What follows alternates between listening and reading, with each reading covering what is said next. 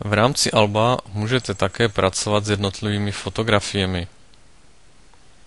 Po kliknutí se zobrazí fotografie číslo 2. Jak můžete vidět, fotografii je možné přidat popisek,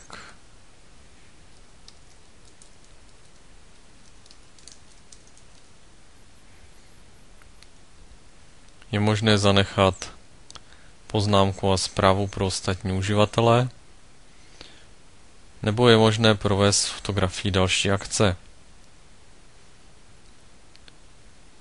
O nastavení fotografie jako alba jsme se již zmínili v předchozím videu. Fotografii můžete odstranit nebo stáhnout do vašeho počítače.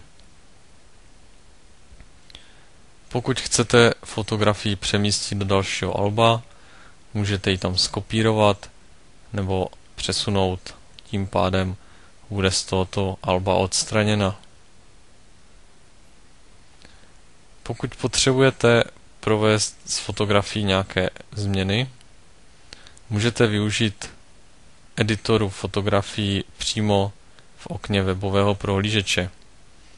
To znamená, že nemusíte používat žádný dodatečný program, ale vše upravíte na tomto místě.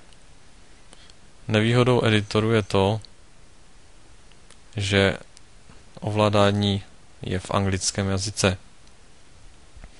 Takovouto fotografii pak můžete ořezávat, otáčet, můžete k ní provést barevné efekty, doplnit ji o textová pole a podobně. Fotografii potom uložíme do alba nebo editaci zrušíme.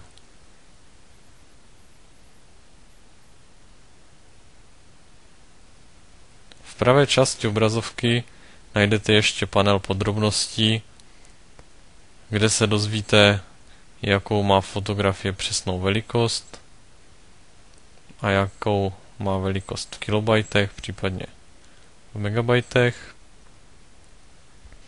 Můžete nastavit jmenovky pro osoby, které se na fotografii vyskytují, nebo nastavit umístění fotografie na mapě. Pokud chcete nazdílet přímo konkrétní fotografii, nikoli v celé album, můžete zde vyhledat také odkaz této konkrétní fotografie můžete zaslat například e-mailem.